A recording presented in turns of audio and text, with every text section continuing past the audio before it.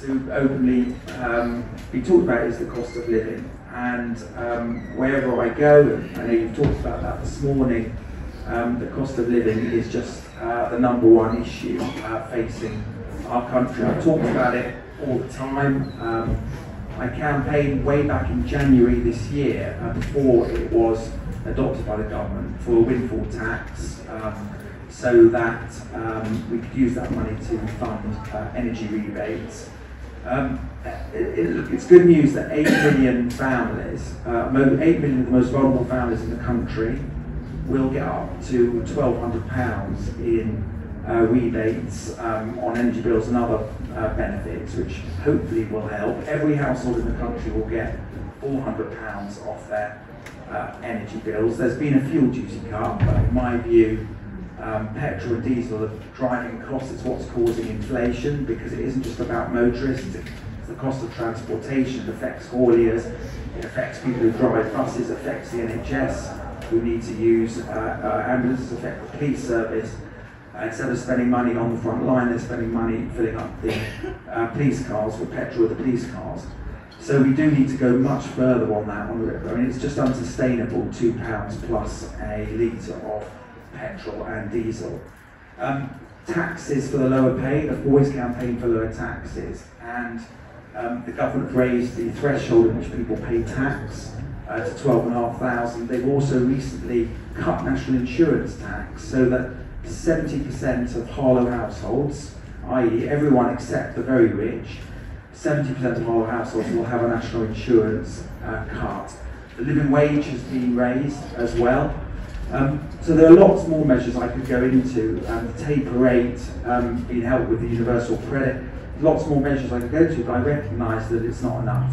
I recognise that uh, people are, are still struggling, um, but there is enormous tightrope to walk um, by the government because the tightrope is on one side you have to help people with the cost, cost of cost of living, on the other side you spent 400 billion pounds dealing with COVID uh, with two trillion pounds in debt. This year, the debt interest is around 81 billion pounds, and we have to deal with some of that because that interest just grows. I mean, just imagine if we had 80 billion to spend on public services and cutting uh, poverty. So we can't just ignore the debt. You can't grow the debt because it will be our children, our grandchildren who have to pay that off. And God forbid there's another shock, whether it is a, uh, another COVID three or four, um, or um, a, the war gets worse between Russia and Ukraine, we will need to spend a lot of money. And so we have to recognise two trillion in debt and uh, 80 billion in debt. It just means the government has very, very difficult decisions to take in terms of balancing the need to cut the cost of living.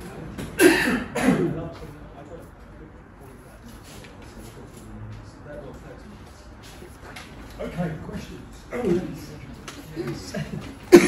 um, I just wanted to speak to something that Robert Halfon commented on. Um, and when you were speaking about the cost of living crisis, I realised that, that, that that's massive now, but I just wanted to make the point that poverty has pre-existed that. Um, food banks have risen and the usage of all the services have been on the rise prior to that cost of living crisis. So I just wanted to make that point. Thank you. You. You're, you're, absolutely right, and um, I've never said otherwise. Uh, clearly, of course, there have been problems before all the recent things that have gone on. Um, it's not just in Britain, there are more food banks per head in Germany and France, um, for example. Um, but there are a lot of good things that happen. The best way to get people, um, many people out of poverty, to get help, get them into work. We've got high employment at the moment. We've got, as I mentioned, more people doing apprenticeships, um, many young people doing apprenticeships as well, and that will help them. Um, and um, of course, COVID has made things worse.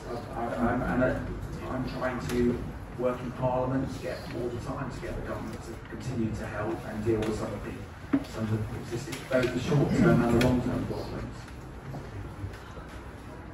I didn't really want to turn this into a question time just for Robert because we've got two other important people here on, on the panel as well, so we must be fair to them uh, as well. But I know that you had your hand up. Would you like the microphone? No, no, that's fine. Do you want to introduce yourself and say who you are, where you're from? Yes, sir. I'm Yasmin Gregory. I'm the Green Party candidate for Harlow. I've had a long-term interest in a lot of the, um, lot of the voluntary sector here, the CAP. Hi. Um, what concerns me, and you working within the voluntary sector, is the goodwill of everybody who volunteer their time, time and time again, to help to prop up which we know is a real problem because it's been going on for years and years and years. And, sorry Robert, we have a Conservative council. We have a Conservative government. You are a, a long-standing and well-respected local MP. You have said how COVID has cost loads and loads of money we've had to find the money. But the Conservative government have found that money for a lot of their friends. What I'm saying is that we are saying that we've got all these people are helping. We know that these that these roles are needed to support people to live, to support people to get them out of poverty. So why are we still relying on, like myself, who was fortunate in a position to say, oh, you're being sponsored, the sponsored run, okay, I'll donate ten pounds. Is it, have you got the question? Well, the question I'm just is- conscious of time for other I people. understand Yes. that, but the question is, is we are continually, people here continually putting their hand in their pocket, they are giving time and time again, and these are, these are requirements that are needed, and everybody can see it. So we should see the government doing a lot, lot more, and the council doing a lot, lot more to help all the people here. Okay, Thank you. I'm going to get the first response to Sharon because that was very much about working with people, and I think you were very much about uh, you know people working together. So Sharon,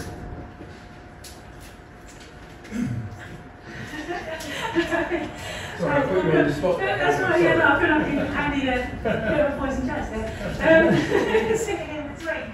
Um, yeah, I mean, to, to, to, to ask, can I ask a question again? So what's the actual question that you Well, like the actual question was, is why are we relying on the goodwill of people and people putting their hands in their pockets when it's quite evident that that is required and we need more help from the government, we need more help from the council.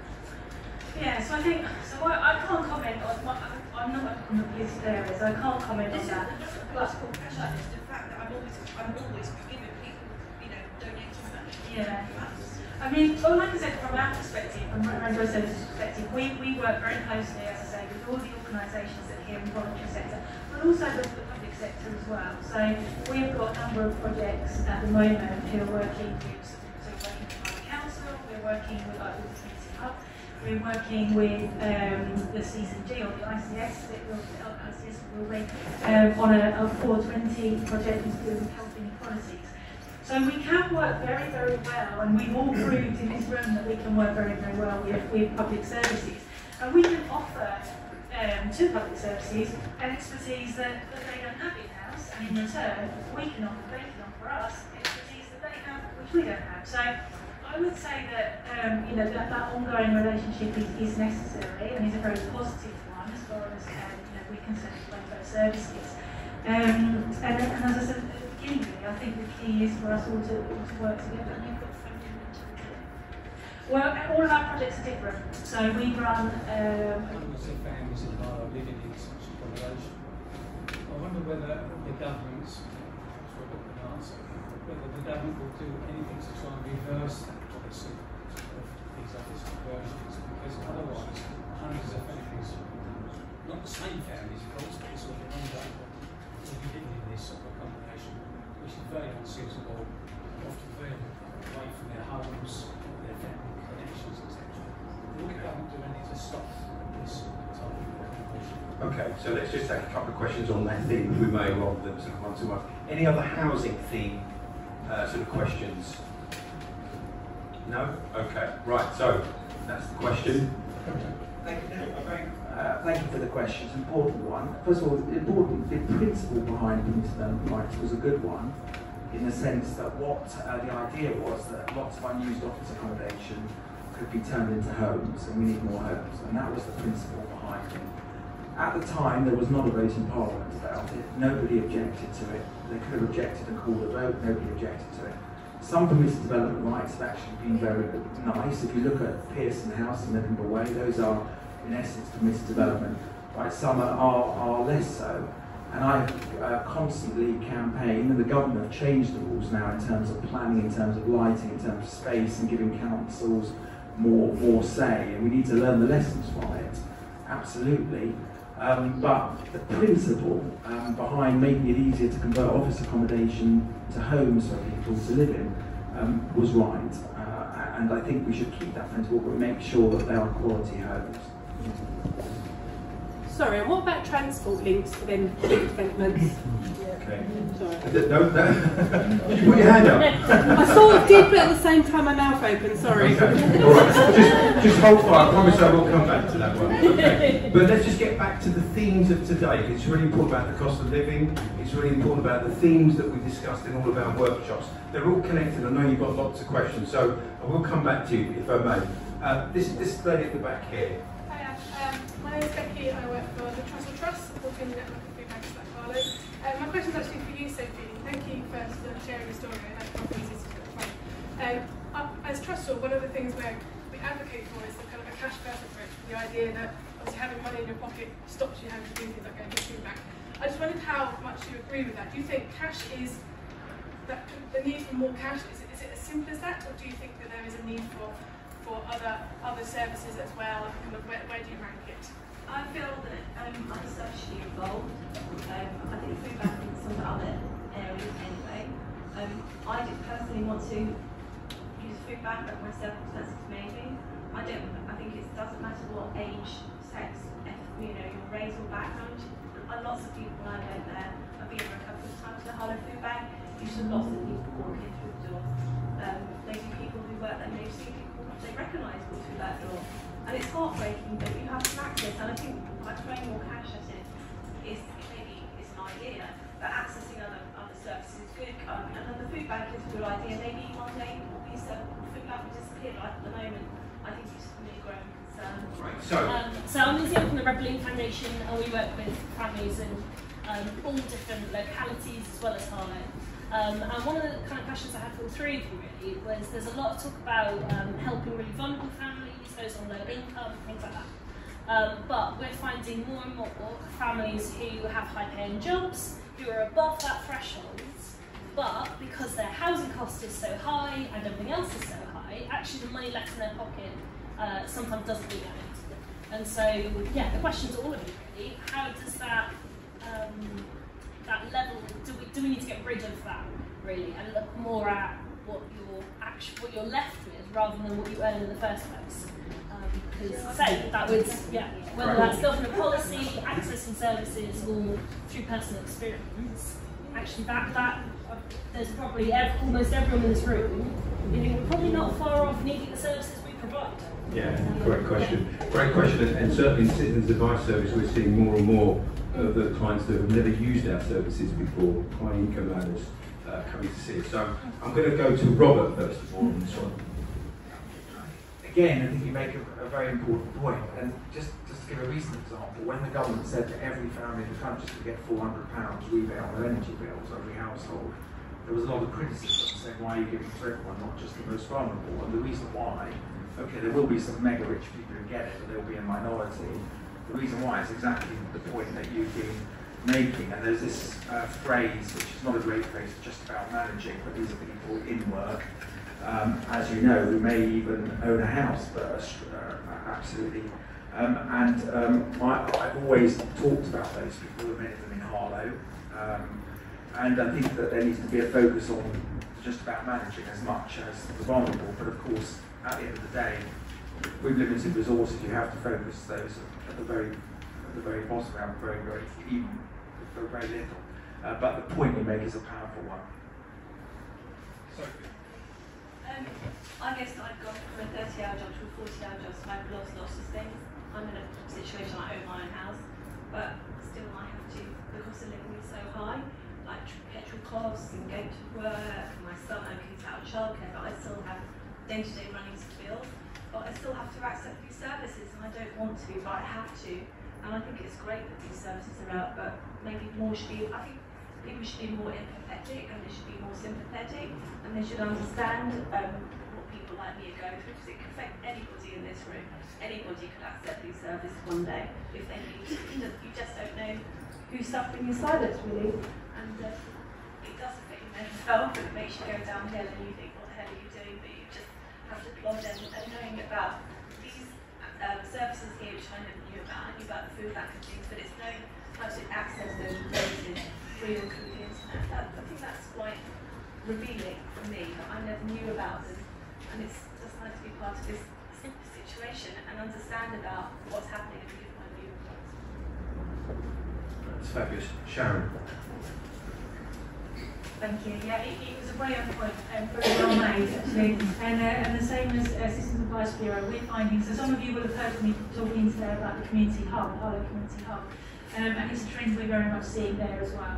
Um, and, you know, I know we're talking about poverty today, but when, when we talk about helping people in crisis on the community hub, we don't define what that crisis might be.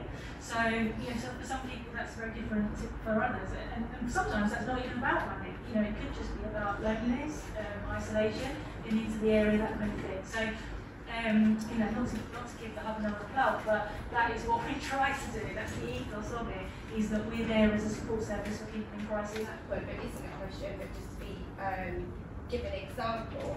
So with, with the increase in, wage, I was actually uh, up twelve pounds sixty three a month in comparison uh, to the month prior, and my increases and my outgoings so far, and that will creep up again in August, um, is three hundred and fifty pounds extra a month.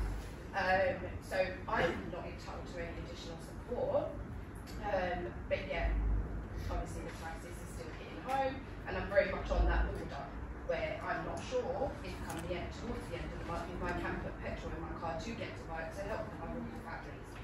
So that's just something I was throwing out there really food for. But the question I have is around mental health support and what is being done to tackle that because I think some of the things I hear on the ground is very much around families that say they're in mental health crisis and they're in this really difficult state, so they may be told to go to A&E, but if they're not suicidal, you're not necessarily going to get the, the level of response that you would.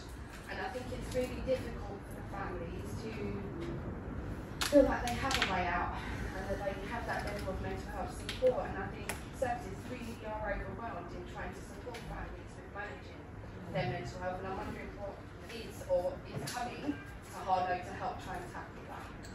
Okay, so I know Lois is desperately getting my attention to say that she wants to intervene on that one. So Lois, what would you like to say? So, firstly, if you're in a men- okay, if you're in a mental health crisis, please don't just go to A and E.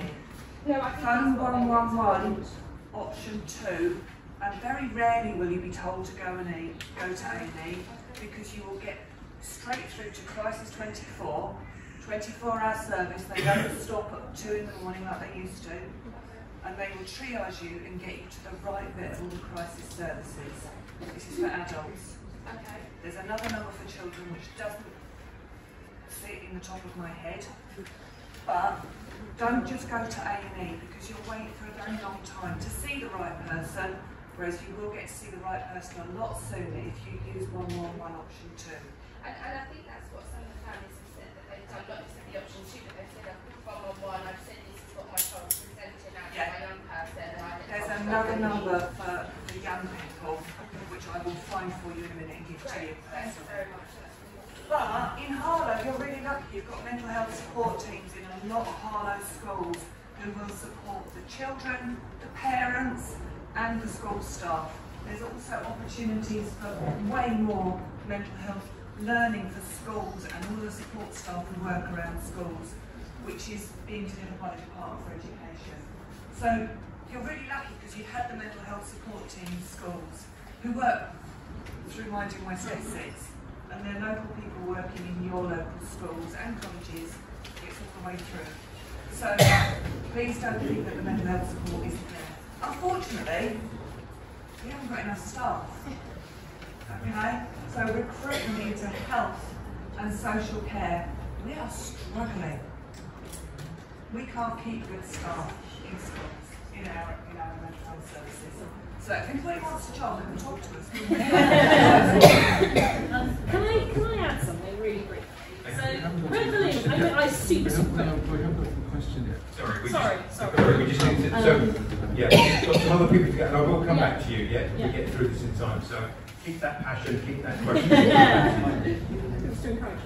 Okay, we've got five minutes then, okay, so did you want to ask a question? I just want Would you like the microphone? No, oh, I don't need it. Oh. um, I would just like to say, when you're speaking about um, apprenticeships, my daughter was lucky enough to become a midwife and she didn't have to pay for her university degree. And I think working in a school, things like teachers and nurses should not have to pay for their degrees, and I think that would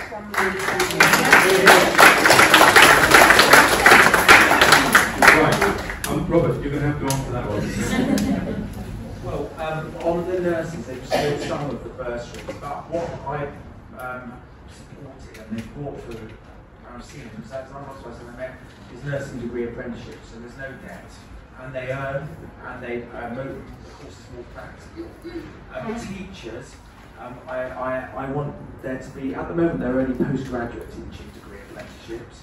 I campaign all the time for teacher degree apprenticeships. Some people in the government are against this because they say that every um, teacher needs to go to university. I don't happen to agree with that. Um, and I would like, I, I think the way to solve this issue that raised is through the higher, through the higher apprenticeship. I think they're, they're listening on the teacher side, but at least they've done it for, for the nurses. And congratulations to your daughter as well. I was saying earlier, sorry if I repeat myself, um, we are all here to support causes and poverty here today. But how do you feel um, the access to the service? Um, is it easy things to do or is it hard? And do you think that the service that you are offering it's uh, easy to understand? Because I was saying earlier, if you look for a job, you go to job center, you have the employer, they say what they look for, and then you know what you can have access. If you look for a house, it's the same. If you look for love, it's the same. You go on Tinder, you match.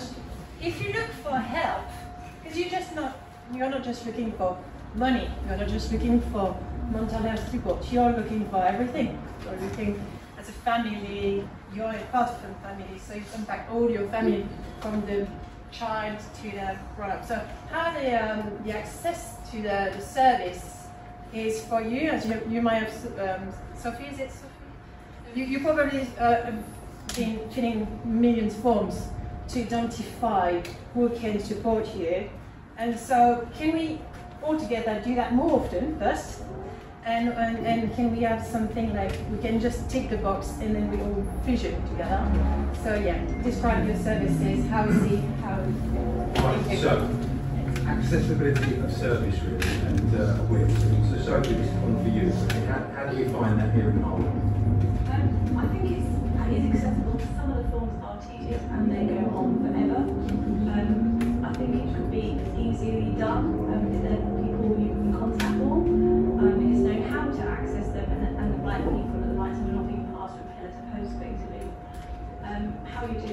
Don't know. Um, but I think one service needs to into another. I've heard a bit about rainbows and I know I've accessed mine before in my own mental states out of the area. Um, it's really knowing how to do it and how you go about it. You can talk, talk, talk as many times as you want in a room. It's really knowing what to do for the best. This, I, a few people to thank. The Rugby Club has given us this place for free today, which is, which is great. And um, Rugby Club has always been very generous. They have a food bank box that you might see on the way in.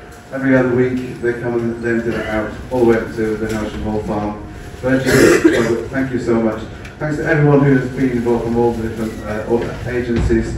Thanks to our guests who've come. If I try and tell you their names I'll forget completely, but I was late last night typing it all up. And um, the surprise, I have a, a surprise for you at the end.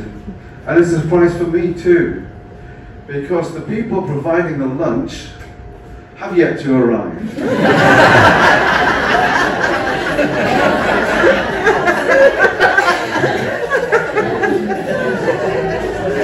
So, we have called them, We have called them several times.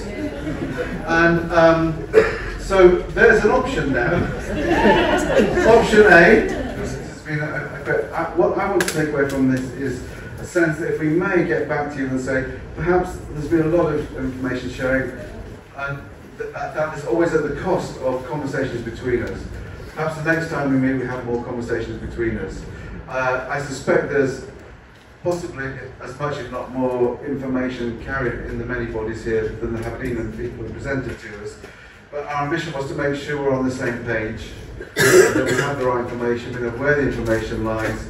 I'm amazed how much of information we've got through in the morning. So at the very least, we've got the kind of knowledge we need to move forwards. I, like you, probably very frustrated because I've probably heard the things I've heard before. But at the same time as that, I've met some people I think, oh, they're wonderful, they're brilliant, they've got so much more to add. And I think every one of us here is probably one of them. Rob was right about the social capital we've got in the room. I'd really like to just keep knocking on your door saying, come back, come back, help solve this. You know, we can talk about money as well. We can't do that much about it right now except knocking on his door and, or knocking on the doors of the political parties that we may support. That's another thing entirely compared to working together to see what we can do for people in Harlow. So thanks so much for being part of that. Thanks for coming on today. Thanks for letting me email you back and just in case you want to stay, stay involved. Um, we are planning to put a short report out about what we've, uh, the things we found today. I think most people have said that we can send their uh, PowerPoints. I'll double check with them and then I'll send that to you as well because the content of those PowerPoints, I mean, if you're a fundraiser like me, there's a lot of good content in those PowerPoints uh, for your next funding application. Uh, so there's a lot of good things that, that are coming our way. So uh, thank, thank you. Um, I won't pad any longer. Uh, if, if you want to stay, please stay. If you want to meet each other, please talk. We can see it as a fasting lunch. Um, uh, uh, but otherwise, thank you very much, and we'll see you next time. Write to me if anything you want. Please join the Poverty Alliance if you can. Get on those calls and, and put your piece in. Thank you so much. Cheers.